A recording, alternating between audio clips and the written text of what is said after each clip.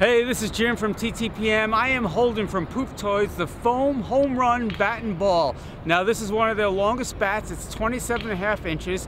Also has a nice soft black foam grip, easy for kids to grip comes along with a soft foam ball. Now this is one of their softer balls. You can see it really is very squeezable. Now this is all about outdoor play. Because it's soft foam, you have to be a little bit closer when you throw it, but you don't have to worry about getting hit.